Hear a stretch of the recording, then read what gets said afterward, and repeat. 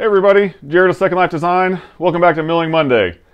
Uh, last video we talked about uh, some of the safety concerns associated with milling. Uh, you know, using an Alaskan winch to keep your hands out of the bar area as much as possible, the ear and eye protection, and how those are important. I purposely left out what I consider to be the biggest kind of risk associated with chainsaw milling. I, I wanted to talk about it on its own. Uh, I think it's important for people to consider, and I, it kind of applies to everyone, no matter what kind of milling you're doing or what your operation is. Um, to me, heavy lifting, moving slabs, stacking slabs, um, anything to do with transportation of them, moving them, that is the biggest risk that I face as a chainsaw miller. Uh, I feel very comfortable with all the rest of the operations, but when it comes to moving them, to me, that's the part that sucks the most. It is what is is the most dangerous uh, for a few reasons. You know, obviously, the, the, you are taking a piece that could weigh 200, 300 pounds, sometimes much more than that. Uh, you're trying to get it off the ground. We need to get it flipped over so we can stack it. Uh, it's an odd, it's an odd shape. You know, it's not a square thing all the time. Uh, it, it's you're operating in if you're out in the woods somewhere milling, it can be uneven terrain. Um, yeah, there's just so many different uh, unknowns with that, and it's something that has to be done. You have to get that slab off there. Once you cut it, it's got to go somewhere. You know, if you have if you're operating kind of like myself in a driveway where it's a flat surface, you're a little bit better off. But I still don't have any heavy equipment. I can't have a forklift or a skid steer or anything like that. So it's all done by hand, and that is, you know, you're putting your back at risk. You know, I've heard of guys, many guys, uh, you know, getting a hernia from uh, from moving slabs they're just they're dramatic they're very heavy. They are so so heavy and i think that's it's a very quick easy way to get hurt and it needs to be considered. Um, uh, you know ask for help. Call in your neighbor call in your buddies. Don't try the stuff al- alone. I i've been very fortunate where i've not had any really close calls where i've you know at, i'm standing a slab up you know people that follow me on instagram know i like to stack them up against the house for a month or so after I cut them, let them dry out a little bit and get the dust off of them. I've never had an issue where one got away from me, but I purposely also cut my slabs really short. I don't do anything over nine, nine and a half feet. Um, I'm not quite six feet tall, just under that. And the idea of a 10, 11 foot slab, you know, where you have five feet above me, that is terrifying.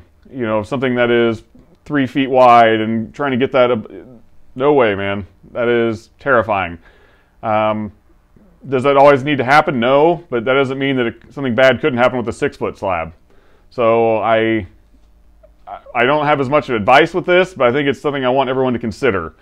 Um, I want please share your comments below about what you do to help move things. I I have I use a few different things in my my own arsenal. I have a pallet jack. I I mill in my driveway.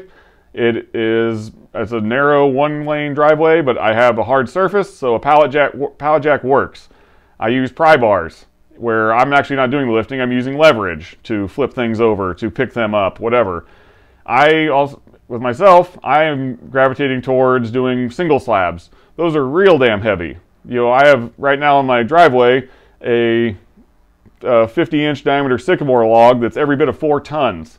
So that's 8,000 pounds of log in my driveway that I'm going to cut into 10 pieces, maybe, but those are still some really heavy damn pieces. So there's no way for me, it doesn't matter how strong I am, there's no way I could pick that up. There's just no way. It doesn't, doesn't mean that I can, I can even pick up one corner sometimes where they're just so heavy. So you have to use different things to your advantage to move them. Whether if you have a log trailer, use the arch to pick things up.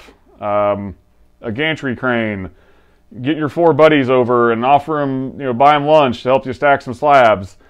I, I just I don't want anyone to get hurt, and I, and I want you to enjoy your experience. And I know I've had to sore back from stacking slabs for days.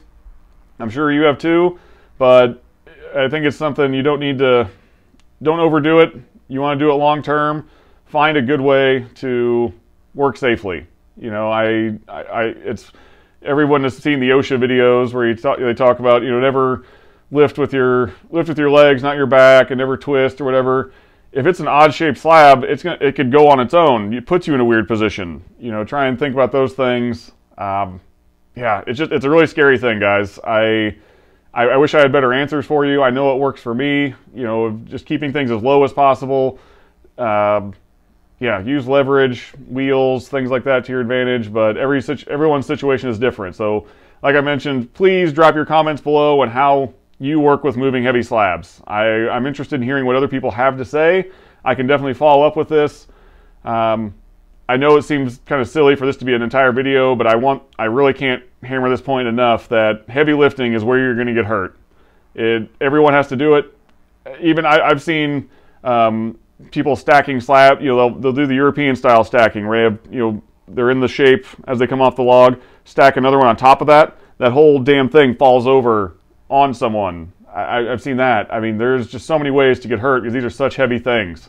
So just please be aware of that do what you have to to mitigate that risk. You know, don't stay in the danger zone any longer than you have to. So uh, I'm going to get back to chainsaw milling stuff, guys, like the nuts and bolts of things. I the safety stuff I think is important to talk about uh, for different reasons.